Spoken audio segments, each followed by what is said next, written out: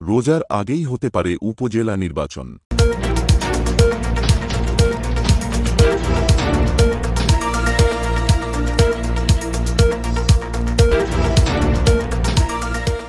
আগামী দশই মার্চ শুরু হবে পবিত্র মাহে রমজান।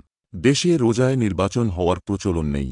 তাই এসএসসি পরীক্ষা ও রোজাসহ সবকিছু বিবেচনায় রোজার আগেই হতে পারে প্রথম ধাপের উপজেলা নির্বাচন।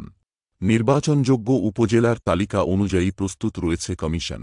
যে কোনো সময় হতে পারে উপজেলা পরিষদ নির্বাচনের তফসিল ঘোষণা। মঙ্গলবার আগারগাঁও ইসি ভবনে এ তথ্য জানিয়েছেন নির্বাচন কমিশনের অতিরিক্ত সচিব অশোক কুমার দেবনাথ।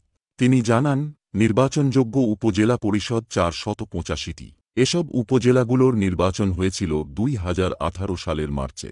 দ্বিতীয় ধাপের নির্বাচন ঈদের পরে হতে পারে বলেও জানান তিনি।